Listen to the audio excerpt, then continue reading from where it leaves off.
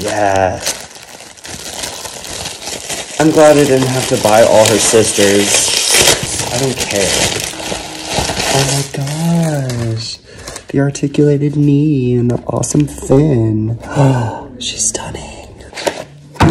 Wow. Oh, yes. I love the fabric tail. So beautiful. I hope it straightens out. Oh, I don't want to rip it. I love the knee. And the fabric top is so beautiful. Elastics that are holding the top will disintegrate over time. Yes, Mermy. Mermy, Mermy, Mermy. Yeah. Oh. There we go. I love that they kept the paint job from the original single doll with the clippable tail.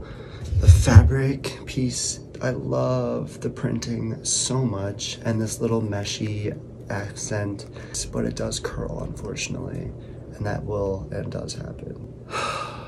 I love the locks with the hair mix. I just, the hairline is a little clumped, but that's okay. The face sculpt is gorgeous. I love the fabric top as well. It's a beautiful, beautiful fabric. I love the color mixture. She's beautiful. I'm so excited. Here's the comparison of the two. Same similar paint job.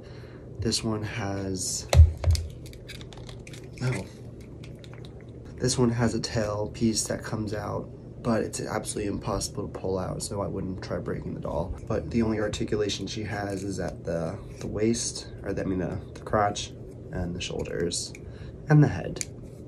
Like, the face sculpt is similar, and so is the hair for the articulated one but this one also has a molded on top, which I absolutely hate. The thin waistline is painted for this one. And for this one, it is like a clear plastic. I didn't care for the sisters because I felt that their fin pieces were not detailed enough. For this one, it is just so detailed with like the veins and the the blending colors. Like it's just so elegant and so royal. And it actually is just captivating from the movie for a doll form.